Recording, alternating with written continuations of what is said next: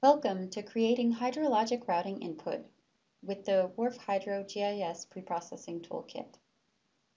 This tool is created by Kevin Sampson and David Gochis. This video is by Molly McAllister from the National Center for Atmospheric Research. During this tutorial, we will walk through the process of creating the hydrologic routing inputs, or routing stacks, for the Croton, New York test case, which is available from our website. We will use the GIS preprocessing tool to verify the GeoGrid file creation and domain location. Then we will create basic hydrologic routing input.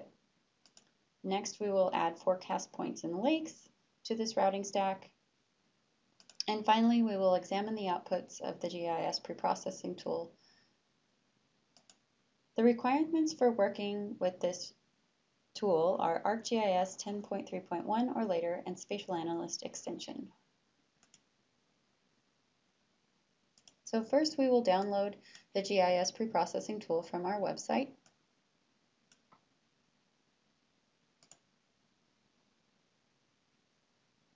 We will also download the GIS preprocessing standalone test data and the documentation.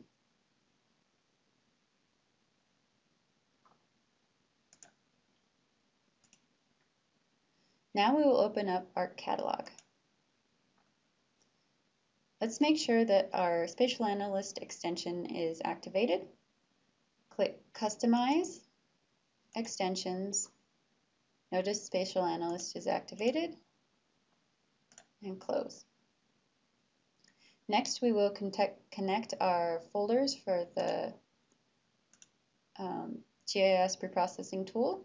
So navigate to the preprocessor tool, version 5, click OK. Connect our folder for the test data, GIS preprocessor test data, and click OK. Now let's look at the test data that we have created for you.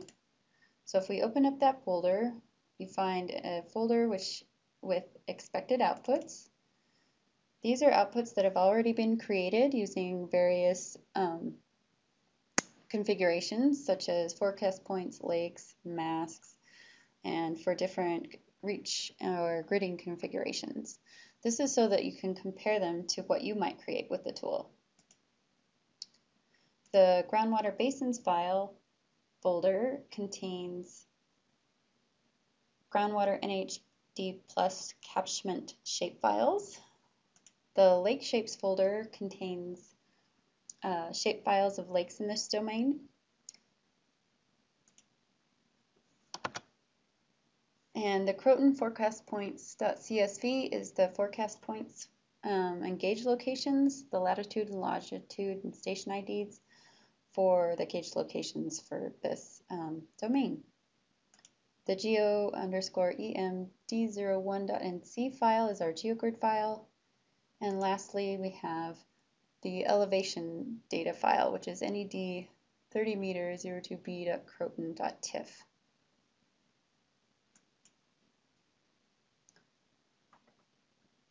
Okay, so first we're going to verify our GeoGrid file um, domain boundary. So first we're going to um, expand the GIS preprocessor, expand the Geo GeoGrid standalone test data processing toolbox and the utilities toolbox. We'll first be using the utility called create domain boundary shapefile. Double click that. The first input that we'll use is clicking on the folder we will go navigate to our GeoGrid file which is geoemd01.nc and open. You notice it op automatically populates the destination and the shapefile name that it's going to create. You can change this if you'd like. I'm going to leave it as default. We're going to hit OK. And if you go to the results window, you can watch the current section session. And expanding the message, you'll see how the tool is running. It says it has succeeded. And the domain shapefile was created. So we will go to ArcMap.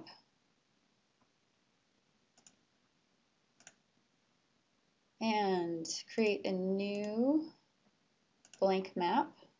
Click OK. Uh, we'll want to add our um, domain shapefile that we just created. So we're going to go to the Add Data button, click Add Data,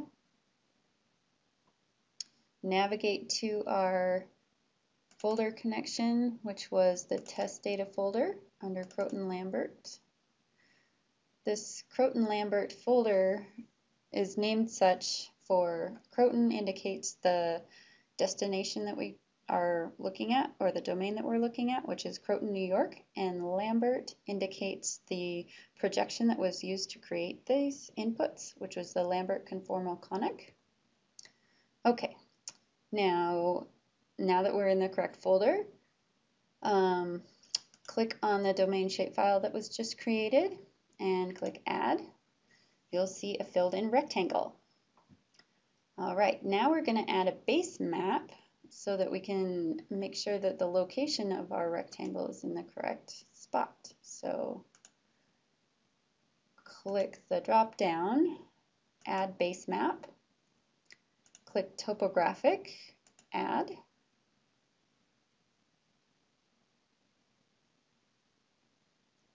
Uh, now you see the rectangle is over a topographic map and it seems to be in New York. To see it better, we want to make the fill hollow. So we will go to our table of contents and under the domain shapefile, we'll click the rectangle. Go over, it has a selection, click hollow, and click OK. I like to have a stronger border, so I'm going to go back and click the little rectangle under table of contents in the domain shapefile again. Go under outline width and increase it to 2 and click OK. Okay, now we see that our domain boundary encompasses the region of our interest, which is the west branch of the Croton River in, in New York. And we also have a lake in here, which is called, or reservoir, which is called the West Branch Reservoir. So our domain boundary seems to be correct. Let's go back to ARC Catalog and look at some of the variables from our GeoGrid file and verify that they were created correctly. So we will go to we're going to use the utility called export grid from GeoGrid file.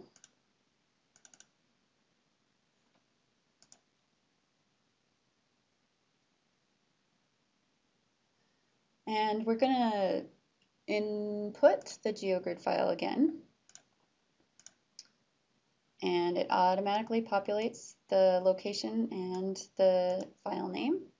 You can change this if you'd like. I'm going to leave it as default. Next, we're going to look at one of the variables that was mapped to our domain grid to see if it looks like it's correct. Um, we want to verify that. You, with, if you click the drop-down menu, you can see all the variables that were in the GeoGrid file. We're going to look at HGT underscore M, which is the topographic height over the mass grid. and again click OK. You Can go to our current session and watch the messages and it says it has succeeded and our output raster is D01 export grid 1.tiff. Okay, so let's go back to ArcMap and we're going to add that layer. So go up to add data find the D01 export grid.tiff, which is a raster layer, and click add. And since it was the topographic height over the mass grid, you can see that the it's coarse grid resolution. However, the um, elevation, lower elevation is in the darker shaded colors or shaded values and the higher elevation is in the lighter shaded values. So lighter shades and it is relatively close to corresponding with our topographic base map. So this verifies that the variables in our GeoGrid file are correct and that we can start creating our routing stack. So let's go back to our catalog and we're going to start creating the most basic set of um, hydrologic routing input for a gridded routing configuration.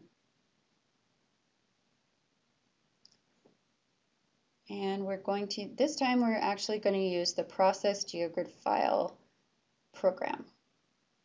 So double click process geogrid file. Go back and clear that. Um, input our geogrid file. Again, GOEM D01.NC. Click open. We're going to skip forecast points because that's optional and at this time we are just creating our basic um, hydrologic routing stack. So the only other thing we need is an input elevation raster, which has been created for us, which is if you're in the Croton-Lambert um, folder, you should see NED underscore 30M underscore 02B underscore Croton.tiff. This is our 30 meter elevation raster. Click add. Next, we need to um, edit the regridding or nest factor. The regridding factor is how you control the resolution that the hydro model is going to use. This needs to nest perfectly into the land surface model resolution.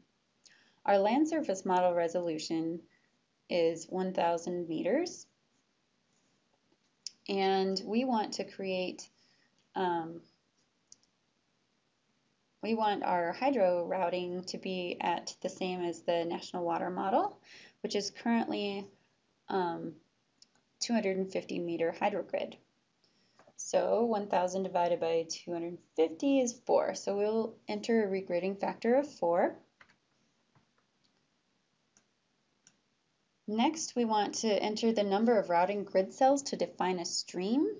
This is used to control the density of the stream network for this, we want something that's close to the NHD plus density, which is two square kilometers. Um, and if we want a stream pixel for every two square kilometers of area, and our grid resolution is 250 meters, and every grid cell is 62,500 square meters, we will need 32 grid cells at that resolution. It's a little bit of math, but we're going to enter 32. Okay, so our output file is already populated for us, but we want to redefine it. So we want to click the folder, make sure it's in the correct location, which is in this Croton-Lambert file. And then we want to name this um, zip file um, according to what we have created. So we want to make sure that we have the resolution in there and it's NED 30 meter. And our regridding factor is 4. And our threshold is 32. And dot zip. And click Save. Now click OK and the process will run. You can go over to your results window and see, expand the messages to see how it's running. This will take a little bit longer than the other processes.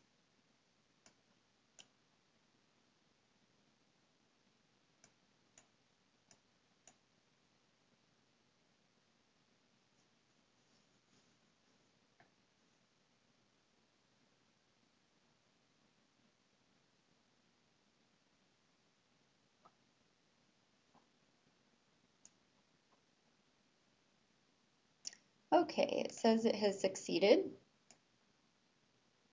And there's an output file, NED 30 meter RF432.zip. Let's look at that file. So if we open up the zip file, this is the minimum output produced when you have grid routing, no lakes or no forecast points.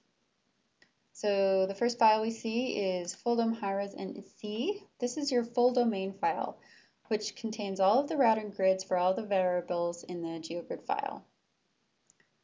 The GeoGrid LDAS out spatial metadata.nc file contains the spatial metadata associated with the GeoGrid variables.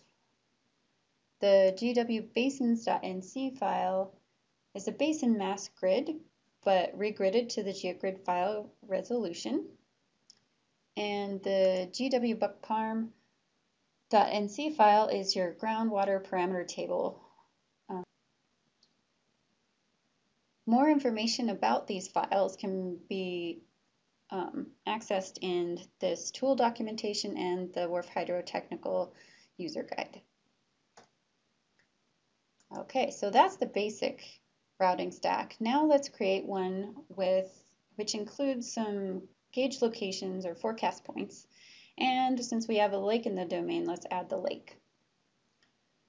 So let's again go to Process GeoGrid File, input the GeoGrid file,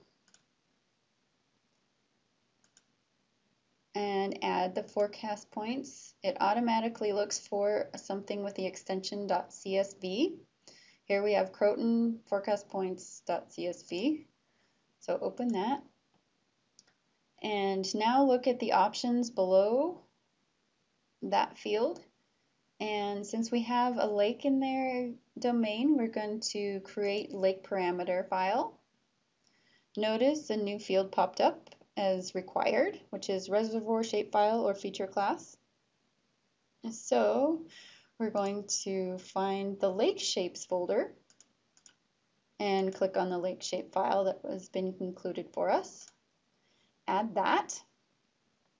Again, we're going to input our elevation raster, which was in the Croton-Lambert folder, which is NED 30 meter 02B croton.tif. Add that. Again, our regridding factor was 4, and our number of routing grid cells to define a stream was 32.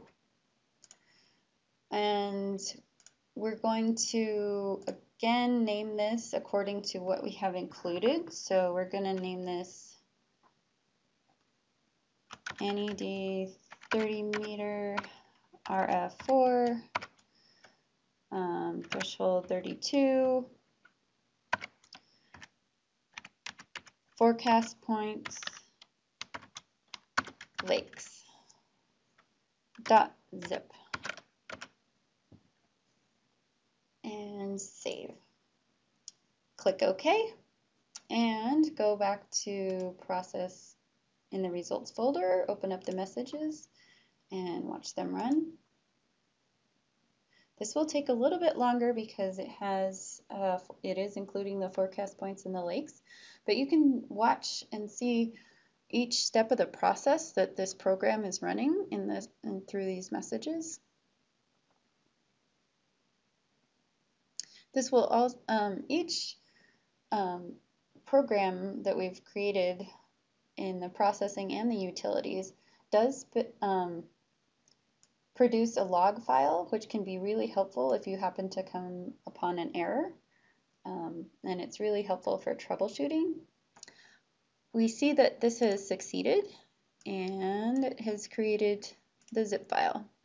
So let's open up this zip file, which was in Croton-Lambert, and see the difference. So now we have, again, we have the full DOM HiRes NC, which is your full domain file.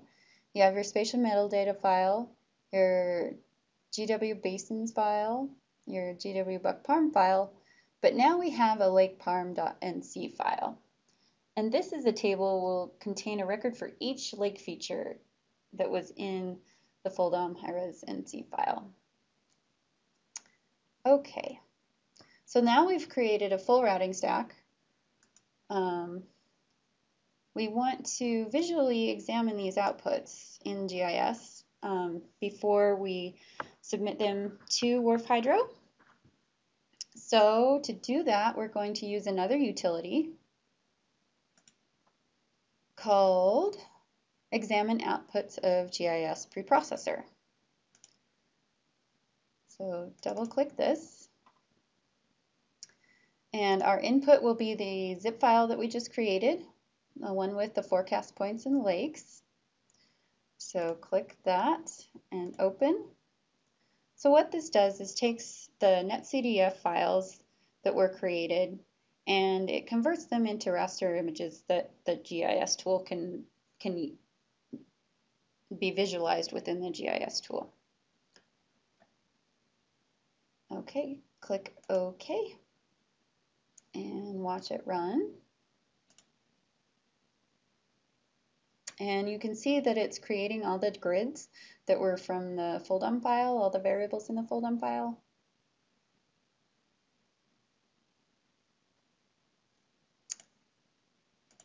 And it has succeeded and it has created a new output folder. Um, the output folder is NED 30 meter RF4, TH3 forecast points Lake 1. Okay, so that should contain all the raster grids. Now we will open ArcMap and look at those rasters. So I'm going to keep my um, domain shapefile border on, but let's add data from the rasters that we just created in NED 30 meter RF4 TH3 forecast points lake, this folder that was just created. Open it up and you can see all the rasters, raster grids that were created. So let's look at flow accumulation. Our flow accumulation grid and click add. So the flow accumulation grid gives the number of the contributing cells for each cell in the domain.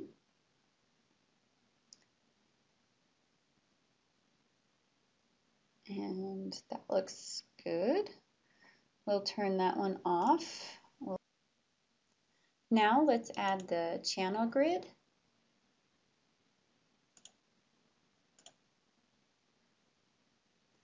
And you can see that the channels are in there and you can see there's a break here with an outflow point. And this is where the lake is supposed to exist.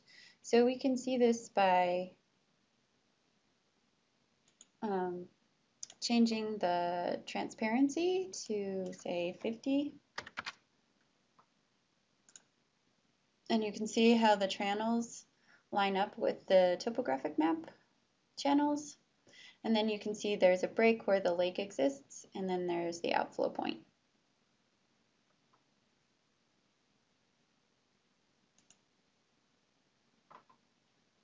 Um, next, we will add the gauge locations or the forecast points. Let's add the forecast points on the grid.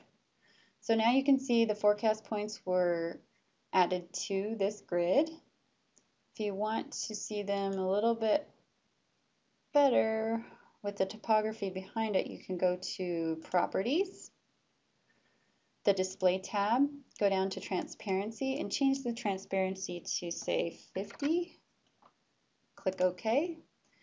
Now you can see that our forecast points location or location related to the, the base layer topography map. And so those look about right. Okay, we will add stream order.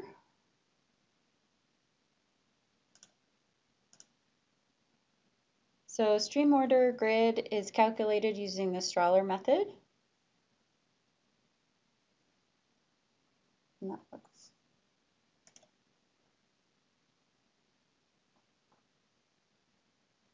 and we will add our, let's make sure that our lake was created in our lake grid. So if we put in the lake grid, we can see that our lake is created and relative to the position that it exists related to the topographic map, we will change the transparency again to say 50 and see where our pixelated lake is covers the west branch of West Branch Reservoir. this lake. All right, so our lake is in the right place.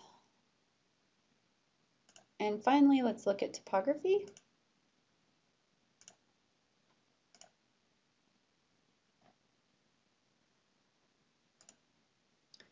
And let's change the value of this. Go to properties, again, display, transparency, let's say 50. Just so that we can see the base map behind it a little bit to see that the topography of our um, grid is this is pretty close to the base map topography. So this our topography grid raster is the grid derived from the elevation values from the ele input elevation raster, which was the NED 30 meters, but it's been converted to floating point and resampled to the routing grid resolution.